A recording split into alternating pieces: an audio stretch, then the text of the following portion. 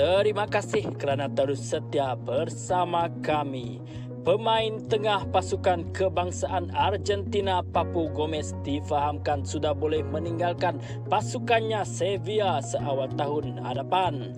Pemain berusia 34 tahun yang merupakan sebahagian daripada skuad Argentina yang menjulang Piala Dunia 2022 di Qatar untuk menamatkan penantian selama 36 tahun malam Ahad lepas.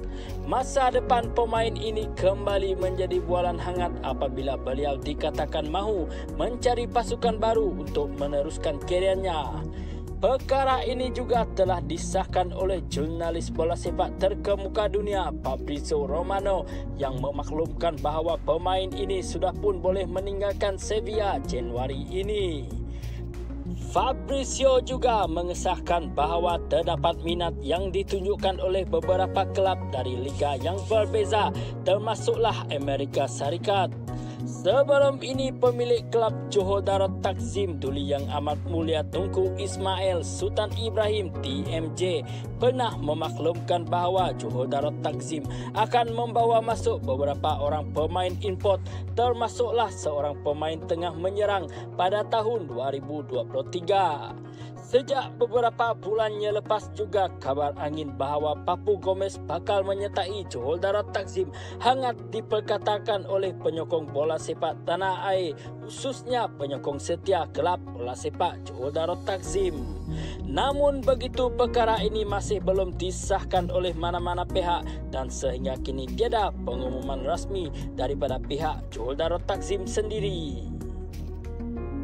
Sementara itu di sebalik kejayaan Argentina dinobatkan sebagai juara Piala Dunia 2022, rupa-rupanya terdapat seorang bekas pemain Johor Darul Takzim yang bertindak sebagai pembantu jurulatih Lionel Scaloni.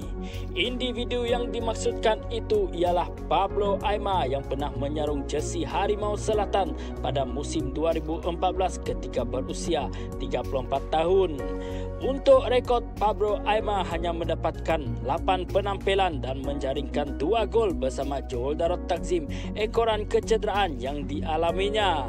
Selepas meninggalkan Johor Darut Takzim, Pablo Aima menyertai River Plate sebelum dilantik sebagai jurulatih pasukan bawah 17 tahun Argentina pada tahun 2017.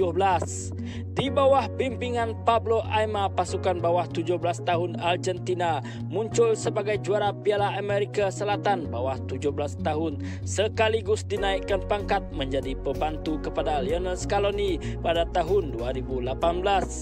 Selain Pablo Aima Scaloni turut dibantu oleh dua bekas pemain iaitu Roberto Ayala dan Walter Samuel yang mana kesemua mereka ini berjaya membawa Argentina muncul sebagai juara Copa America pada tahun 2021.